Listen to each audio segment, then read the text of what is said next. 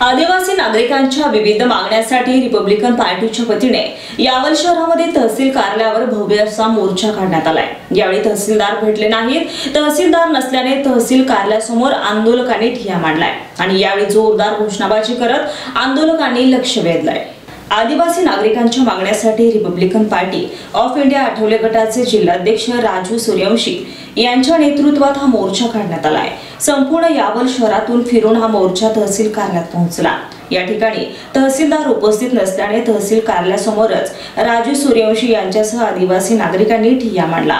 जोपर्यंत तहसीलदार येऊन भेटत नाहीत तोपर्यंत या ठिकाणाहून उठणार नाही असा आक्रमक पवित्रा यावेळी घेतल्यानं प्रशासनाची धांदल उडाल्याचं पाहायला मिळत आहे यावेळी आंदोलकांनी घोषणा देऊन तहसील कार्यालय परिसर दरानून सोडल्याचं पाहायला मिळालंय. यावेळी हजारो आदिवासी महिला पुरुष या मोर्चात सहभागी झाल्याचं पाहायला मिळत आहे. पाणी गेलंच पाहिजे.